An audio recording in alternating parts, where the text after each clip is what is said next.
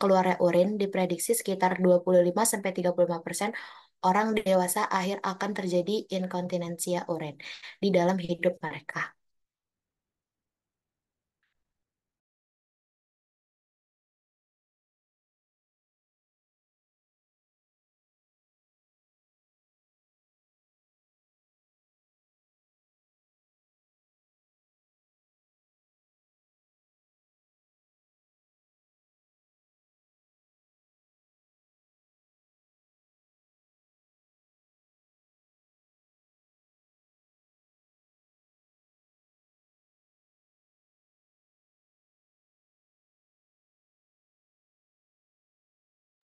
Kenapa tak nggak mau ganti? Iya Bu izin lagi ada gangguan jaringan. Ibu lagi mau coba di share screen di device lain. Sebentar ya Ibu. Ya.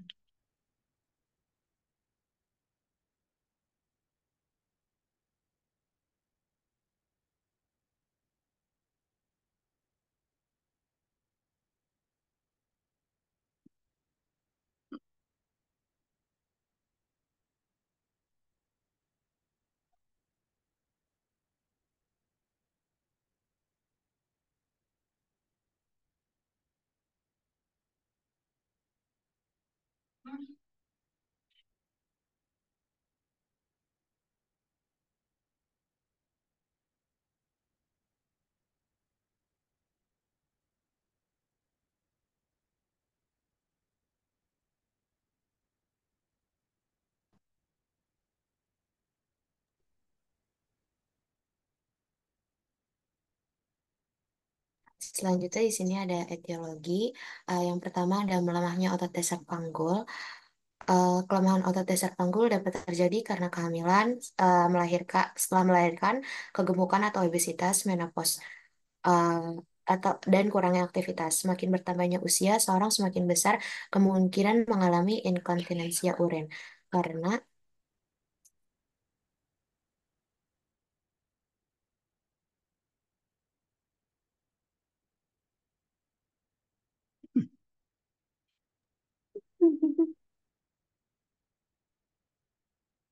semakin bertambahnya usia, seorang semakin eh, besar kemungkinan mengalami inkontinensia urin karena terjadi perubahan struktur kandung eh, kemih, perubahan struktur kandung kemih dan berkemih dan otot dasar panggul eh, ini mengakibatkan seorang tidak dapat menahan BAK-nya. Yang kedua ini ada kontraksi gerak atau gerakan abnormal kandung kemih, sehingga walaupun kandung kemih baru berisi sedikit, eh, sudah menimbulkan eh, rasa ingin berkemih. Terus yang ketiga ada obat diuretik yang menyebabkan sering berkemih. Yang keempat ada radang kandung kemih. Yang kelima ada radang saluran kemih. Yang keenam tuh ada kelainan kontrol dan uh, pada kandung kemih. Yang ketujuh ada kelainan persarafan kandung kemih. Yang kedelapan ada adanya hipertrofi prostat. Yang kesembilan ada faktor psikologis. Boleh di next. Kemudian di sini ada epidemiologi, uh, prevalensi inkontinensia ini meningkat sering uh, bertambahnya usia kerentanan, serta 1,3 hingga 2 kali lebih banyak pada perempuan dibandingkan laki-laki. Populasi di atas usia 65 tahun itu akan mengalami peningkatan kejadian IU mulai 13% pada tahun 2010 dan diperkirakan dapat mencapai 20,2% pada tahun 2050. Uh, IU dialami oleh hampir 60% lansia di panti rawat. Kemudian 25 sampai 30% lansia itu berusia lebih dari 65 tahun yang baru pulang dari perawatan rumah sakit karena penyakit akut. Serta 10 sampai 15 persen laki-laki dan 20 sampai 35 persen perempuan berusia lebih dari 60 tahun yang masih ambulatori di komunitas. Uh, di Eropa prevalensi IU ini mencapai lebih dari 30 persen dan juga kalau di Amerika itu mencapai 37 persen prevalensi di EU di Asia bervariasi dengan prevalensi tertinggi di Thailand itu 17% dan terendah di Cina 4%. Seluruh tipe inkontinensia ini pada perempuan usia lanjut yang tinggal di komunitas sekitar 35% dan pada laki-laki sekitar 22%. Next. Ya, selanjutnya ada patofisiologi. Yang pertama ada inkontinensia stres. akibat adanya kebocoran urin saat terjadi tekanan pada intra abdomen eh, yang melebihi tekanan uretra eh, seperti ketika sedang batuk, mengejan atau mengangkat beban. Lalu dua itu inkontinensia urgensi yaitu akibat adanya ketidakstabilan otot, eh, detrusor idiopatik yang menyebabkan terjadinya peningkatan tekanan intra intravesical timbul kebocoran urin. Lalu yang ketiga itu uh, hiperrefleksia detrusor yaitu hilangnya kontrol uh, kortikal sehingga menyebabkan kandung kemih tidak dapat ditahan karena tidak stabil uh, kontra kontraksi detrusor. Nah, sehingga adanya kandung kemih yaitu yang terisi. Kemudian terjadi refleks uh, sakralis dan kandung kemih lakukan pengosongan secara serentak. Lalu yang keempat ada impotensia overload yaitu adanya kerusakan pada uh, serat eferen eferen dari refleks sakralis yang mengakibatkan terjadinya atonia kandung kemih. Next.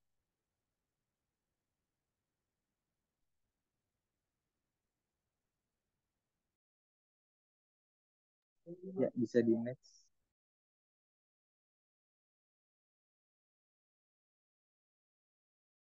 Ya, selanjutnya ada faktor risiko. Yang pertama ada umur. Uh, umur tidak hanya mempengaruhi eliminasi feses dan urin, namun berpengaruh terhadap kontrol eliminasi.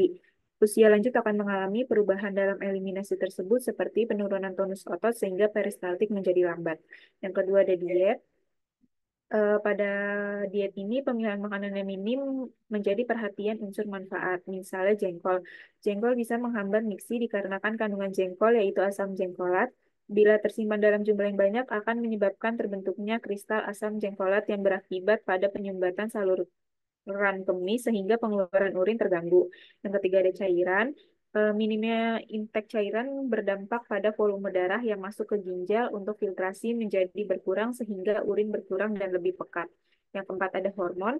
Eh, memburuknya fungsi ovarium yang berkaitan dengan faktor menopause, yaitu terjadi penurunan produksi estrogen, endogen, dan meningkatnya insidensi gejala urin seperti disuria, nokturia, dan inkontinensia.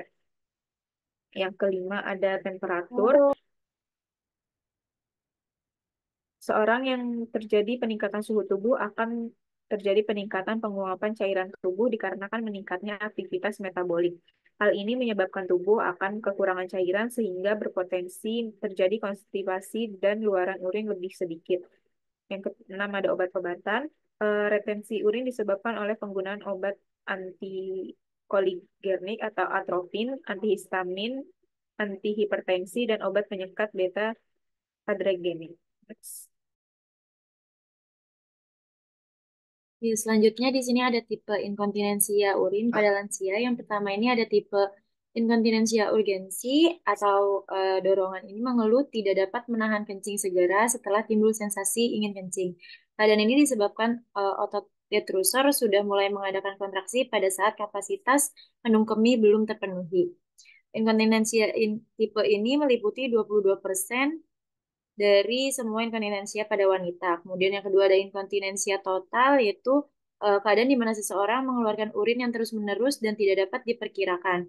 Kemungkinan penyebab inkontinensia total ini yaitu disfungsi neurologis, kontraksi independen, dan refleks detrusor karena pembedahan, trauma atau penyakit trauma atau penyakit yang mempengaruhi saraf, medula spinalis, fistula, dan neuropati. Kemudian yang ketiga ada inkontinensia stres, disebabkan uh, otot sphincter uretra tidak bisa menahan keluarnya urin yang dikarenakan peningkatan tekanan di abdomen. Nah, peningkatan tekanan di abdomen ini dapat muncul sewaktu batuk, bersin, mengangkat benda berat, dan tertawa. Lalu yang keempat ada inkontinensia refleks, yaitu suatu keadaan seseorang mengalami pengeluaran urin yang tidak dirasakan. Hal ini kemungkinan disebabkan adanya kerusakan neurologis. Inkontinensia refleks ini ditunjukkan dengan tidak ada dorongan untuk berkemih, perasaan kandung kemih tidak penuh, eh, penuh, dan kontraksi atau spasme kandungan kemih tidak dihambat pada interval teratur. Kemudian yang kelima ada inkontinensia fungsional. Eh, hal ini ditandai dengan tidak adanya dorongan untuk berkemih. Kemudian keadaan seseorang ini eh, mengeluarkan urin secara tidak sadar dan tidak bisa diperkirakan. Lalu yang keenam ada inkontinensia akut. Tipe inkontinensia ini bersifat akut terjadinya secara mendadak, sementara namun bisa disembuhkan. Lalu yang terakhir ada inkontinensia kronis, yaitu bersifat menetap, tidak dapat eh, tidak dapat disembuhkan, namun bisa meminimalisir gejala. Selanjutnya, Selanjutnya ada manifestasi klinis menurut Stiani 2014, eh, inkontinensia dengan dorongan gejalanya yaitu berkemih sering disertai oleh tingginya frekuensi berkemih atau lebih sering dari dua jam sekali, spasma kandung kemih atau kontraktor berkemih dalam jumlah kecil eh, atau atau kurang dari 100 mili atau dalam jumlah besar lebih dari 500 mili. Yang kedua itu ada inkontinensia stres. Gejalanya itu yaitu keluarnya urin pada saat tekanan intra abdomen meningkat dan seringnya berkemih. Lalu ada inkontinensia refleks seperti yang sudah dijelaskan teman saya tadi ini uh, tidak menyadari bahwa kandung kemihnya sudah terisi. Kurangnya untuk berkemih kontraksi spasma kandung kemih yang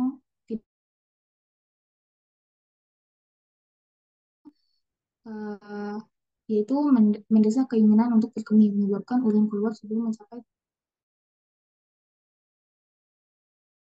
flow. Gejalanya itu yaitu mengalir keluarnya sedikit urin tanpa adanya sensasi bahwa kandung kemih sudah penuh uh, distensi dan distensi kandung kemih selanjutnya. Selanjutnya di sini ada komplikasi yaitu tingginya angka kejadian inkontinensia urin pada lanjut usia maka diperlukan adanya penanganan yang sesuai. Jika tidak segera ditangani, inkontinensia urin ini dapat menyebabkan berbagai komplikasi seperti infeksi saluran kemih, infeksi kulit pada daerah kemaluan, gangguan tidur, dekubitus, dan gejala ruam. Selain itu, masalah psikososial seperti jauhi orang lain karena berbau pesing, minder tidak percaya diri, mudah marah juga sering terjadi dan hal ini berakibat pada depresi dan isolasi sosial. Next.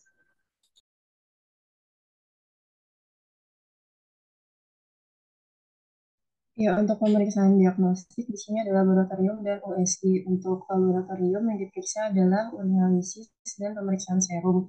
Urinalisis ini uh, bertujuan untuk mengetahui substansi yang terdapat di dalam urin seperti darah, glukosa, pus, bakteri, protein, dan kultur urin. Untuk pemeriksaan serum ini diindikasikan uh, untuk melihat adanya komplikasi sistemik seperti kemungkinan terjadinya peningkatan bun dan uh, ureum kreatinin pada klien dengan obstruksi dan memiliki komplikasi hidronefrosis.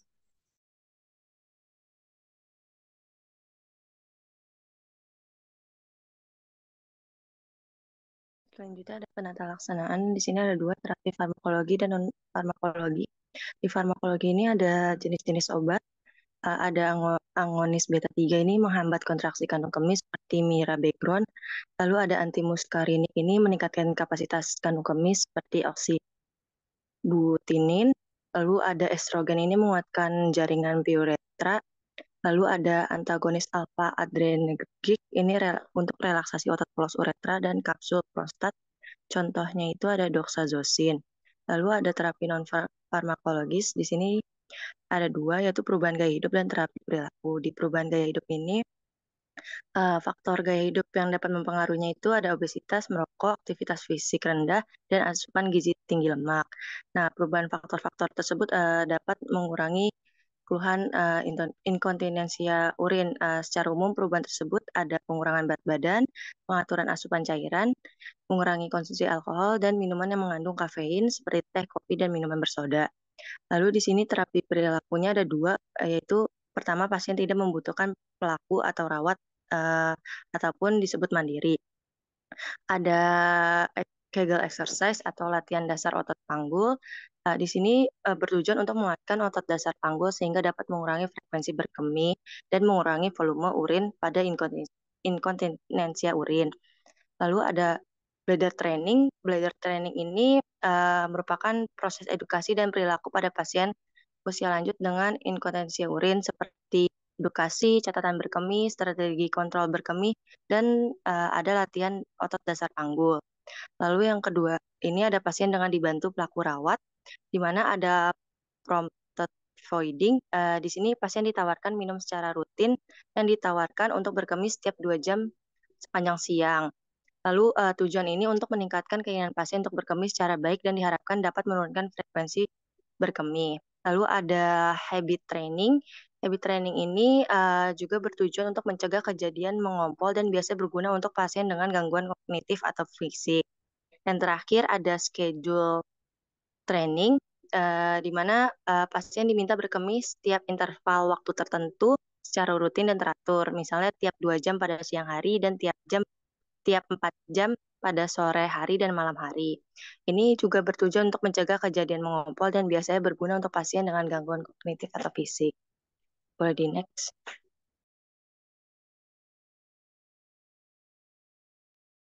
Baik, eh, terima kasih untuk kelas A atas pemaparan materinya. Selanjutnya boleh dilanjut kelas B untuk memaparkan materi mengenai konsep dasar asuhan keperawatan pada pasien lansia dengan inkontinensia urin.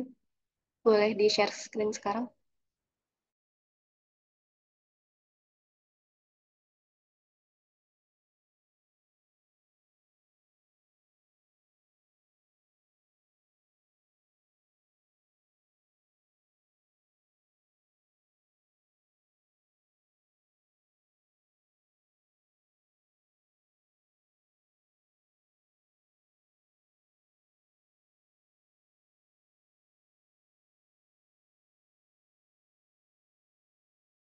Baik, eh, untuk kelas B, anggota kelompoknya ada Amar Gifari, Anida Afrianti, Anissa Nur Yulia, Kanza Amanda, Laili Frida Yuni, Niken Sri Anbarwati, Kori Aina, dan Tarisa Liani. Untuk kelompok, uh, boleh memaparkan materinya, waktunya 15 menit ya.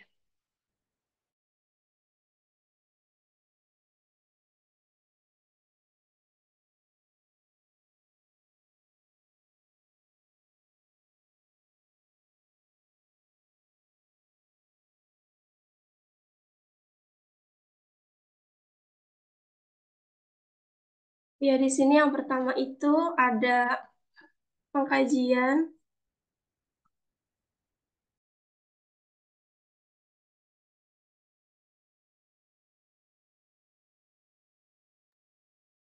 ada pengkajian. Pengkajian itu meliputi yang pertama ada identitas. Identitas kita harus mencari identitas pasien yang meliputi nama, umur, jenis kelamin, pendidikan, agama, suku bangsa, dan status perkawinan. Selanjutnya, uh, selanjutnya ada identitas penanggung jawab atau keluarga yang meliputi nama, umur, jenis kelamin, pendidikan, agama, suku bangsa, dan hubungan dengan pasien.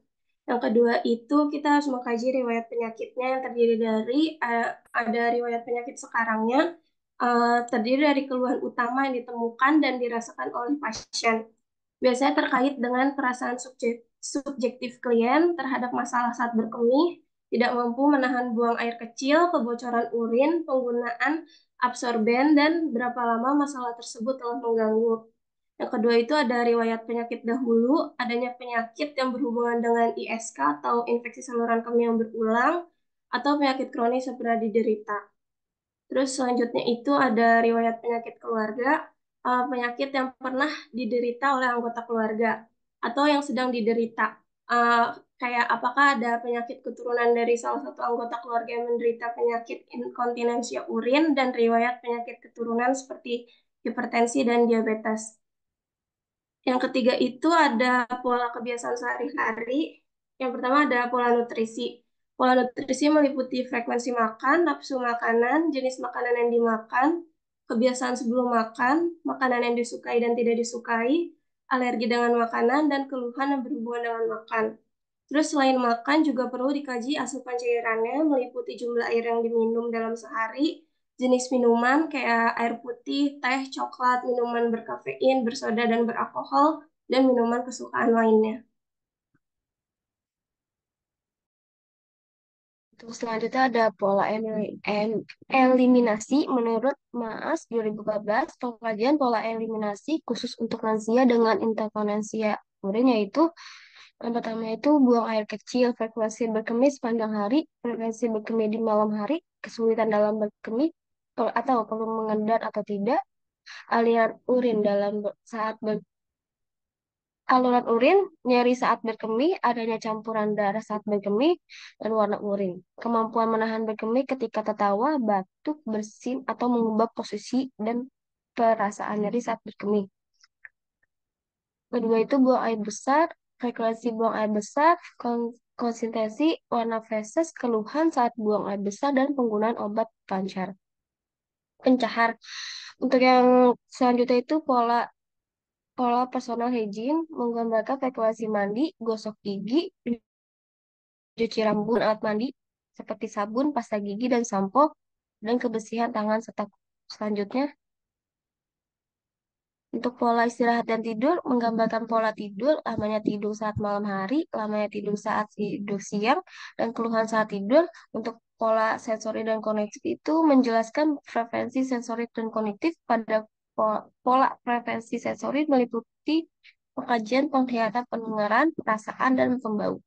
Untuk pola persepsi dan konsep diri, menggambarkan sikap tentang diri sendiri dan persepsi terhadap kemampuan konsep diri, Konsep diri menggambarkan gambaran diri, harga diri, peran, identitas diri, perasaan yang dialami ketika mengalami intervensia. Yang selanjutnya itu kebiasaan yang mempengaruhi kesehatan, menggambarkan kebiasaan responden yang berdampak pada kesehatan meliputi bisa ke atasan melip, meliputi merokok, mengguna minum meminum minuman beralkohol dan ketergantungan terhadap obat. Selanjutnya. Ya, baik. Uh, selanjutnya di sini ada pemeriksaan fisik. Untuk pemeriksaan fisik yang pertama, yaitu ada keadaan umum. Umumnya untuk pasien lansia ini mengalami gangguan perkemihan terlihat lemah. Lalu untuk kesadaran, kesadaran ini kita kaji apakah kompos mentis, apatis, ataupun uh, sampai somnolen.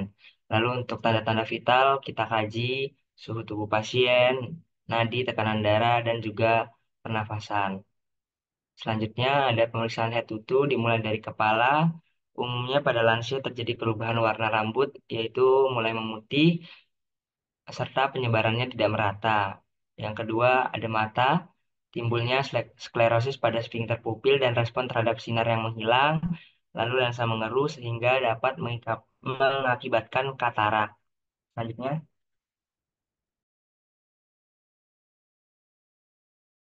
Ya, uh, selanjutnya ada hidung ya. Pada lansia umumnya itu mengalami penurunan panca indera penciuman. Mulut pada lansia juga umumnya mengalami penurunan pada indera perasa dan juga mulai mengalami giginya yang copot. Lehernya menggambarkan masalah pada kelenjar getah bening dan kelenjar tiroid seperti terdapat pembesaran atau tidak. Kemudian pada dadanya itu ada penurunan fungsi fisiologisnya yang mengakibatkan tarikan napasnya bertambah lebih berat karena menurunnya elastisitas paru dan penurunan pada kekuatan otot pernapasan.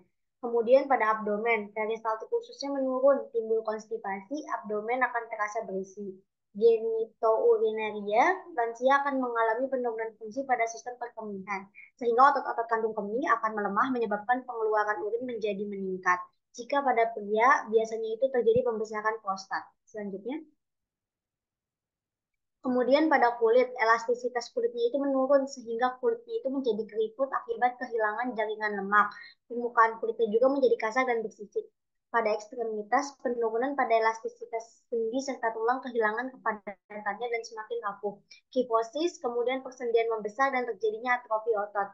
Pemeriksaan penunjang itu di antaranya ada urinalisis, uroflometri, kristometri, uro, urografi X, X retorik, kemudian ada voiding retrography, uretrografi retrograde, kemudian ada elektromyografi sphincter eksternal, kemudian ada pemeriksaan rektum pada pasien pria, dan ada juga kateterisasi residu pasca berkemih. Selanjutnya.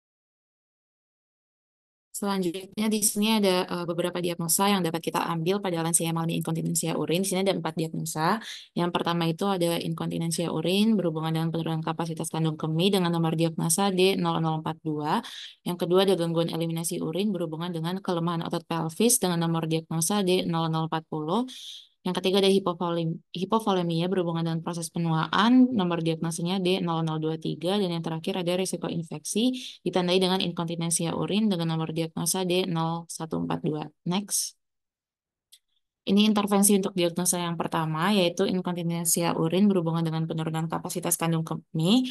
Kriteria hasilnya setelah dilakukan asuhan keperawatan selama 3 kali 24 jam, diharapkan in, uh, inkontinensia urin ini membaik dengan kriteria hasil. Yang pertama, kemampuan berkemihnya meningkat, terus nokturia menurun, residu volume urin setelah berkemih menurun, distensi kandung kemih menurun, dribbling menurun, frekuensi berkemih membaik, sensasi berkemih membaik. Ini untuk keluarannya inkontinensia urin dengan nomor luaran L04036. Untuk intervensinya yaitu perawatan inkontinensia urin. Nomor intervensinya I04163.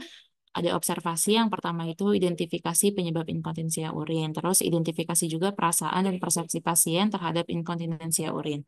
Kemudian monitor keefektifan obat, pembedahan, dan terapi modalitas berkemih, dan juga monitor kebiasaan BAK-nya. Selain observasi, observasi di sini juga terapeutik, yaitu bersihkan genital dan kulit sekitar secara rutin, ambil sampel urin untuk pemeriksaan urin lengkap atau kultur, kemudian berikan pujian atas keberhasilan mencegah inkontinensia, dan buat jadwal konsumsi obat-obat diuretik. Selanjutnya.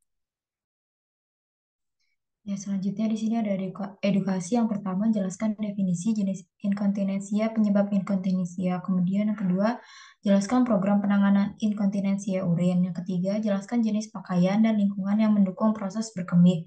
Keempat, anjurkan membatasi konsumsi cairan 2-3 jam menjelang tidur. Yang kelima, ajarkan memantau cairan keluar dan masuk serta pola eliminasi urin. Yang keenam, anjurkan minum minimal 1500 cc per hari jika tidak kontraindikasi. Yang ketujuh, anjurkan menghindari kopi, minuman bersoda, teh, dan coklat. Yang kelapan, anjurkan konsumsi buah dan sayur untuk menghindari konstipasi. untuk kolaborasinya yaitu rujuk ke ahli inkontinensia jika perlu. Next. Untuk uh, dia, intervensi diagnosa yang kedua, ada gangguan eliminasi urin berhubungan dengan kelemahan otot pelvis dengan nomor diagnosa D0040. Kemudian kriteria hasilnya yaitu setelah dilakukan asuhan keperawatan selama 3 kali 24 jam, maka diharapkan eliminasi urin membaik dengan kriteria hasil, desakan berkemih menurun, kemudian distensi kandung kemih menurun, yang ketiga urin menetes menurun, empat nokturia menurun, yang kelima mengompol menurun, dan yang terakhir enuresis menurun dengan nomor luaran L040 34. Untuk intervensinya yaitu manajemen eliminasi urin dengan nomor intervensi I04152 yaitu untuk observasinya yang pertama ada identifikasi tanda dan gejala retensi atau inkontinensia urin, yang kedua identifikasi faktor yang menyebabkan retensi atau inkontinensia urin, yang ketiga monitor eliminasi urin seperti frekuensi, konsistensi, aroma, volume, dan warna. Untuk terapeutiknya yang pertama ada catat waktu dan haluran berkemih. Yang kedua, batasi asupan cairan. Yang ketiga, ambil sampel urin, tengah, midstream, atau kultur. Dan untuk yang edukasinya, yang pertama ada ajarkan tanda gejala infeksi saluran kemih. Yang kedua, ajarkan mengukur asupan cairan dan haluran urin. Yang ketiga, ajarkan mengambil spesimen urin midstream. Yang keempat, ajarkan mengenali tanda berkemih dan waktu yang tepat untuk berkemih. Selanjutnya. Selanjutnya ini ada uh, lanjutan dari manajemen eliminasi urin, yaitu yang pertama ada ajarkan terapi modalitas, penguatan otot-otot panggul atau berkemih, anjurkan minum, anjurkan minum yang cukup jika tidak ada kontraindikasi, anjurkan mengurangi minum menjelang tidur, kolaborasinya yaitu ada kolaborasi pemberian obat suppositoria uretra jika perlu. Uh, selanjutnya di sini ada diagnosa yang ketiga, hipovolemia berhubungan dengan proses penuaan D0023 uh, setelah dilakukan asuhan keperawatan selama 3 kali 24 jam, maka diharapkan keseimbangan cairan meningkat dengan kriteria hasil. Yang pertama ada kelembapan membran mukosa meningkat, yang kedua ada asupan makanan meningkat, yang ketiga ada dehidrasi membaik, yang keempat ada tekanan darah membaik, yang kelima ada lanjut nadi radio membaik yaitu uh, L03020 manajemen hipovolemia itu ada I03116 observasinya itu periksa tanda dan gejala hipovolemia monitor intake dan output cairan. Terapeutiknya itu ada hitung kebutuhan cairan berikan posisi modified Trendelenburg yang ketiga ada berikan asupan cairan olah. Next Trendelenburg ya bacanya. Baik, Ibu. Eh, dilanjut, eh, edukasinya itu ada anjurkan memperbanyak asupan cairan oral. Eh, yang kedua, anjurkan menghindari perubahan posisi mendadak. Kolaborasinya ada kolaborasi pemberian cairan intravena isotonis, eh, kolaborasi pemberian cairan eh, intravena hipotonis, kolaborasi pemberian cairan koloid, kolaborasi pemberian produk darah. Selanjutnya ada resiko infeksi di bukan dalam inkontinensia urin D0142 setelah dilakukan tindakan selama 3 kali 24 jam diharapkan tingkat infeksi dapat menurun dengan kriteria hasil. Demam menurun, kemarahan menurun, nyeri menurun. L14137 Uh, selanjutnya di sini ada pencegahan infeksi yaitu I14539 observasinya itu ada monitor tanda dan gejala infeksi lokal dan sistemik Terpetiknya ada batasi jumlah pengunjung, mempertahankan teknik aseptik pada pasien berisiko tinggi. Selanjutnya ada edukasinya, yaitu jelaskan tanda gejala infeksi. Yang kedua, anjurkan meningkatkan asupan nutrisi. Yang ketiga, anjurkan meningkatkan asupan cairan. Next.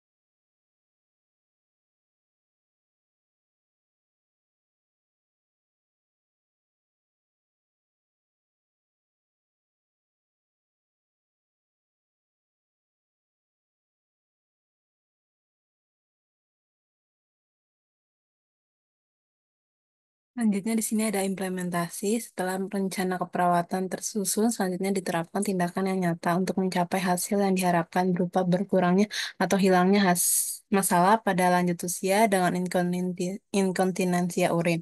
Pada tahap uh, implementasi ini terdiri atas beberapa kegiatan, yaitu validasi rencana keperawatan, menuliskan atau mendokumentasikan rencana keperawatan serta melanjutkan pengumpulan data.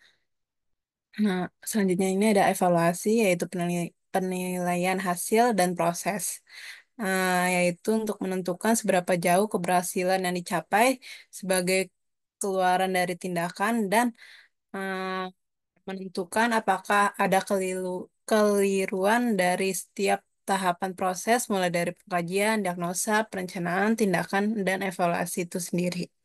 Nah, evaluasi juga dilakukan berdasarkan kriteria yang telah ditetapkan sebelumnya dalam perencanaan, mengembangkan hasil tindakan perawatan yang telah dilaksanakan dengan tujuan yang telah ditetapkan sebelumnya, dan menilai efektivitas proses keperawatan mulai dari tahap pengkajian, perencanaan, dan pelaksanaan. Saya kembalikan ke moderator. Baik, uh, terima kasih untuk uh, kelas B atas pemaparan materinya. Selanjutnya boleh dilanjut untuk kelas RKI.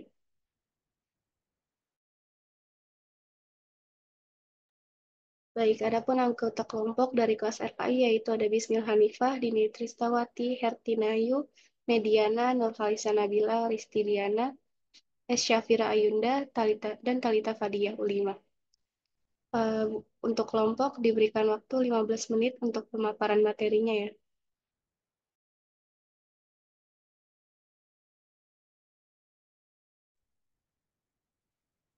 Sekarang uh, dari kelompok RKI ingin mempresentasikan tentang aspek kasus fiktif pada inkontinensi pada lansia. Next.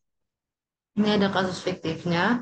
Nyonya U usia 78 tahun, keluhan sering BAK, terutama pada siang dan malam hari. Merasa terganggu saat desakan BAK terjadi pada malam hari karena saat terbangun di malam hari, desakan BAK klien begitu kuat sehingga klien gak kuat lagi untuk menahan sampai ke toilet. Klien mengatakan sebelumnya sudah pernah memakai popok, tetapi satu bulan terakhir klien tidak mau karena merasa tidak nyaman. Klien mengatakan ia mengalami inkontinensi urin sejak kurang lebih satu tahun yang lalu dan merasa terganggu dengan kondisinya saat ini. Next. Ini pengkajian teman-teman bisa baca sendiri biodatanya. Next. Kayak ini uh, ke riwayat kesehatan, keluhan utamanya yang klien mengeluh sering BAK pada siang dan malam, terus habis itu merasa kerepotan kalau malam hari karena saat terbangun desakan begitu kuat. Terus keluhan yang menyertai itu uh, sakit kepala jika bangun secara mendadak pada malam hari. Terus klien mengeluh ia sulit berjalan karena lutut terasa nyeri. Untuk riwayat keluhan utama itu klien mengatakan sebelum sebelumnya sudah pernah memakai popok, tapi satu bulan terakhir merasa nggak nyaman, eh, merasa eh, sehingga melepas popoknya. Terus habis itu mengalami inkontinensia urin kurang lebih satu tahun. Nah, lanjut. Ini riwayat kesehatan keluarganya orang tua nggak punya riwayat kesehatan parah, tapi kakaknya ada yang mengidap penyakit hipertensi dan harus minum obat anti hipertensi secara terus-menerus. Untuk riwayat psikososialnya, uh, klien mengatakan cemas karena penyakitnya, um, karena sebelumnya itu dia nggak perlu cemas untuk mengganti spray dan pakaian yang kena ompol. Klien juga mengatakan ia tidak enak merepotkan anaknya. Oke. Setelah uh, menggunakan Pampers, dia merasa lebih baik, tapi ia nggak nyaman. Terus personal hygiene-nya uh, normal, mandi dua kali sehari, sikat gigi dua kali, terus potong kuku dua minggu sekali. Terus habis itu, ini ada ini ada uh, kebiasaan merokok dulu sekitar 20 tahun yang lalu, tapi sekarang udah nggak lagi. Next.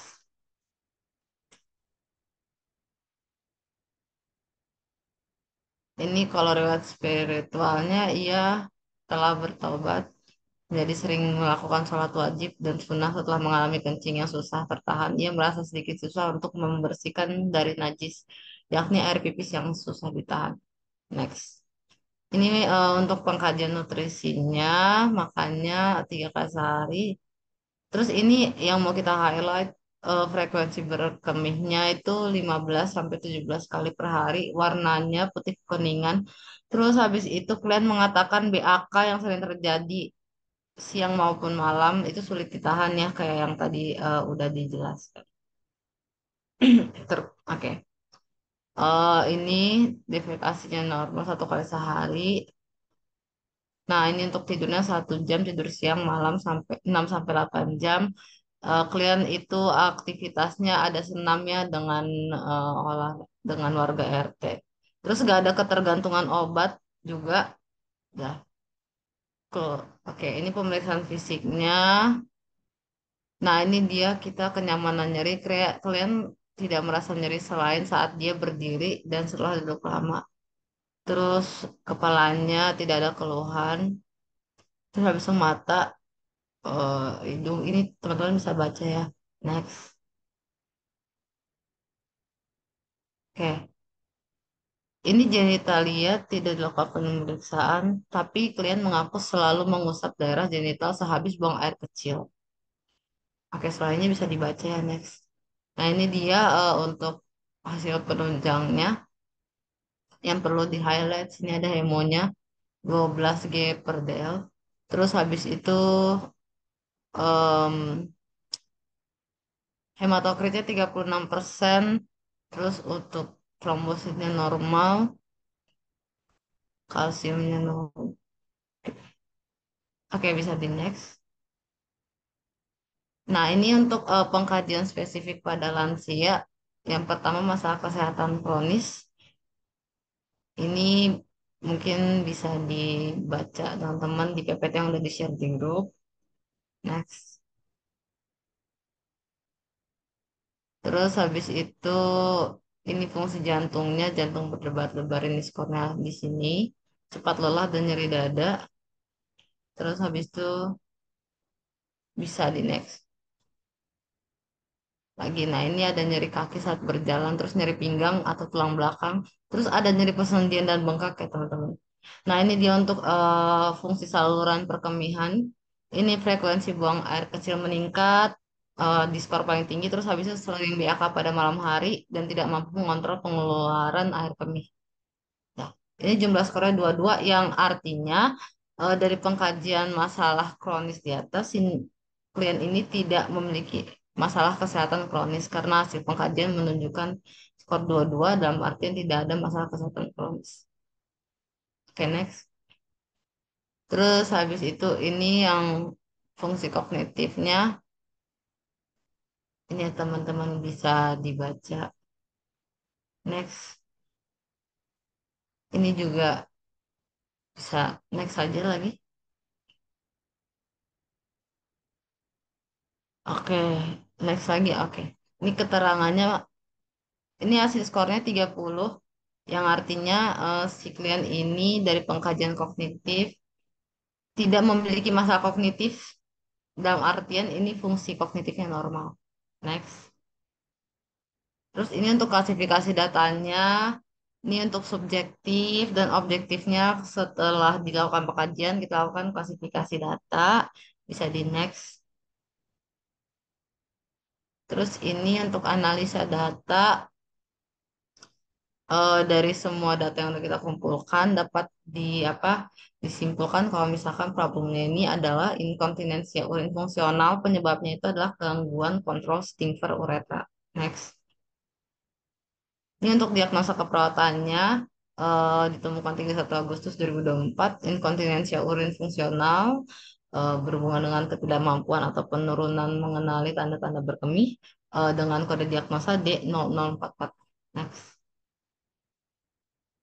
Ini untuk intervensi keperawatannya. eh tujuan dan kriteria hasil diambil dari SLKAI L, dengan kode L04036. Jadi inkontinensia urin membaik targetnya dengan kriteria hasil kemampuan mengontrol pengeluaran urin meningkat, dribbling menurun, dan kemampuan menunda pengeluaran urin membaik. Terus untuk intervensinya itu diambil dari Siki eh, dengan kode I04149 latihan berkemih. Ini observasinya teman-teman periksa kembali penyebab gangguan berkemih, terus monitor pola kemampuan berkemih untuk terapeutiknya hindari penggunaan kateter indwelling, siapkan area toilet yang aman, terus sediakan peralatan yang dibutuhkan dekat uh, dan mudah dijangkau. Next. Terus uh, untuk edukasinya, jelaskan arah-arah menuju kamar mandi atau toilet pada pasien dengan gangguan penglihatan. Terus anjurkan intake cairan adekuat untuk mendukung output urin. Terus yang ketiga, anjurkan eliminasi normal dengan beraktivitas dan uh, olahraga sesuai kemampuan.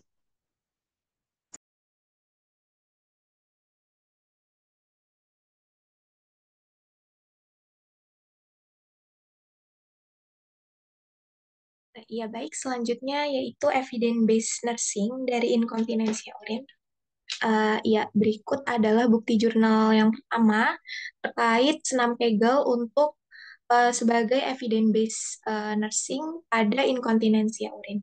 Next slide. Ya, uh, selanjutnya yaitu ada analisis PICO untuk uh, populasi atau pasiennya yaitu pasien lansia dengan inkontinensia urin. Dan untuk intervensinya yaitu penerapan senam Kegel dan untuk comparisonnya yaitu tidak melakukan senam Kegel. Dan untuk outcome-nya yaitu penurunan inkontinensia urin.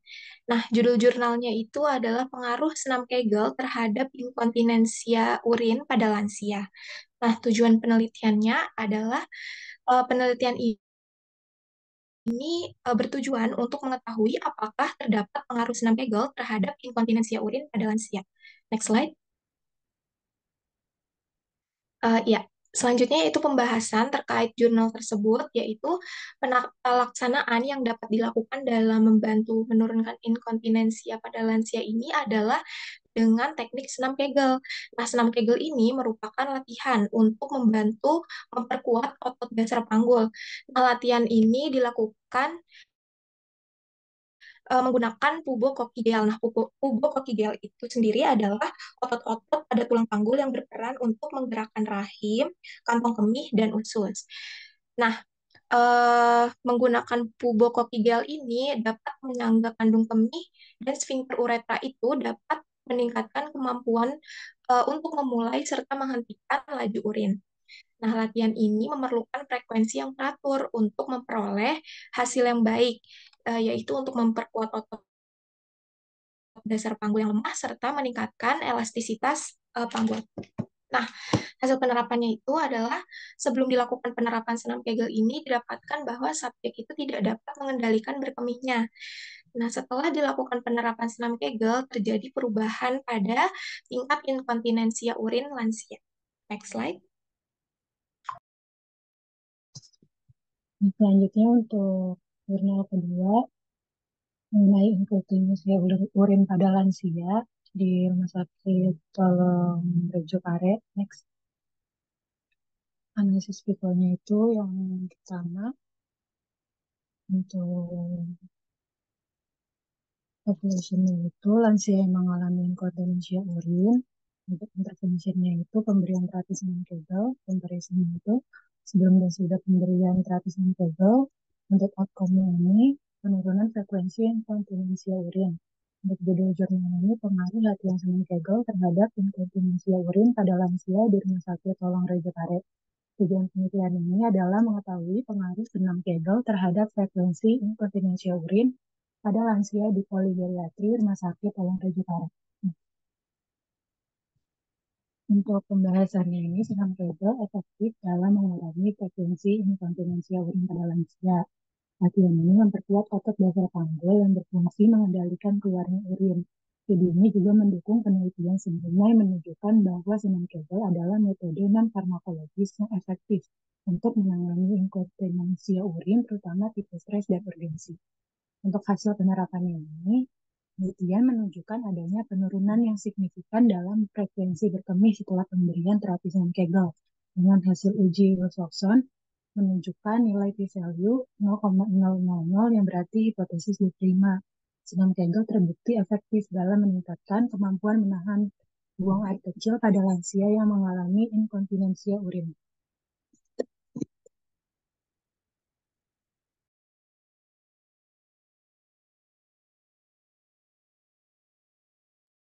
Baik, eh, terima kasih untuk kelas RKI atas pemaparan materinya. Izin bertanya Ibu Puji, eh, ini waktunya kan sudah lewat ya Bu. Apakah tetap diadakan sesi tanya jawab apa gimana ya Bu? Baiklah, sebelum tanya jawab ya, Salma ya. Terima kasih Salma. Pemaparan Anda sungguh lengkap. Ya. 4A, 4B, 4 RKI. Tepuk tangan dong. Masa diem aja. Ya. Saya kira intinya bahwa inkontinensia urin yaitu seseorang yang tidak bisa mengendalikan ya PAK dikarenakan beberapa faktor, mungkin usia, mungkin berat badan, mungkin juga karena ada gangguan saraf atau hormonal ya. Intinya itu. Jenis kelamin pun mempengaruhi ya. Semakin menopause juga akan ngalamin begitu. Nah, tetapi itu rata-rata tadi umumnya kita harus melakukan eh, jangan lupa senam Kegel exercise ya. Sedini mungkin seusia Anda ini udah mulai harus uh, ada Kegel exercise. Kegel exercise bisa dilakukan saat, saat Anda duduk, berdiri, maupun dalam keadaan tidur. Lebih enak itu berdiri sambil Anda di kamar mandi, ya, melakukan Kegel exercise dengan cara menjepit bagian organ bawah ya. Jepit, jepit, jepit, jepit, jepit, kemudian lepas, lepas, lepas, lepas. Jadi dikendorkan, terus dikencangkan, dikendorkan, kencangkan, kendorkan. Paling tidak setengah jam atau 15 menit, ya. 15 menit minimal.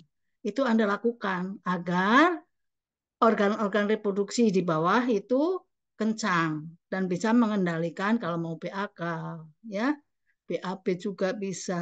Kemudian kalau wanita itu kalau mau melahirkan itu elastis bagian organ bawahnya. Ya, itu. Intinya begitu. Uh, mungkin ada pertanyaan apa tidak? Kan ini diskusi hanya untuk kelompok kita sendiri ya. Ini tidak satu kelas kan? Atau satu kelas, Salma? Di sini Bu, uh, untuk diskusi sepertinya uh, bisa dari tiga kelas Ibu. Oh, dari tiga kelas. Ya. Silakan kalau ada pertanyaan. Tiga aja, ajukan dari kelas A, B, dan RKI.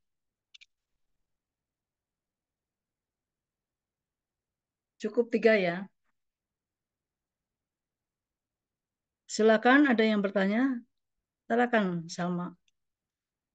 Suara Salma ini masih timid ya. Ya baik, uh, untuk teman-teman kelas A, B, dan RKI, apabila ada pertanyaan bisa diajukan sekarang ya.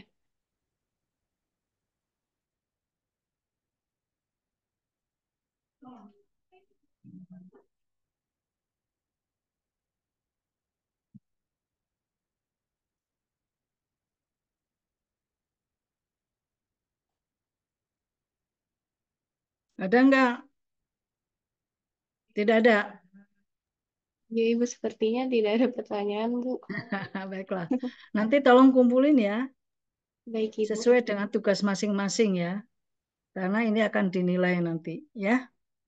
Terima Ya, kasih Salma. eh, izin Ibu, eh, apakah kelas RKI boleh ulang screenshotnya, Bu? Karena tadi di awal sempat ada yang masih di kamar mandi, Bu. Oh, boleh, boleh, boleh. Ya, untuk eh, kelas RKI boleh di eh, raise hand ya. Ayo, ya.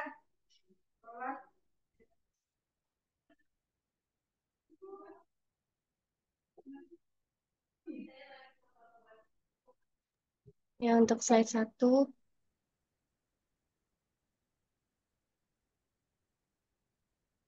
Selanjutnya slide 2.